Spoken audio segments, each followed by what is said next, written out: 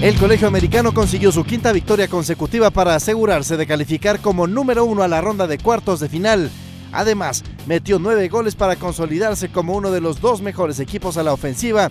De estos nueve goles de ayer, Pedro Budip marcó cuatro y fue un jugador clave en el paso del equipo en la primera ronda, por lo que se lleva la distinción como jugador del día en el torneo Intercoles. Su nombre es Pedro Budip Peniche. Juega con el número 7 del colegio americano en categoría Rabbits. Bien, muy feliz y así seguir echándole muchas ganas.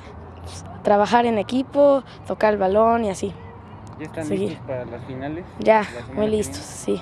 Vamos con todo.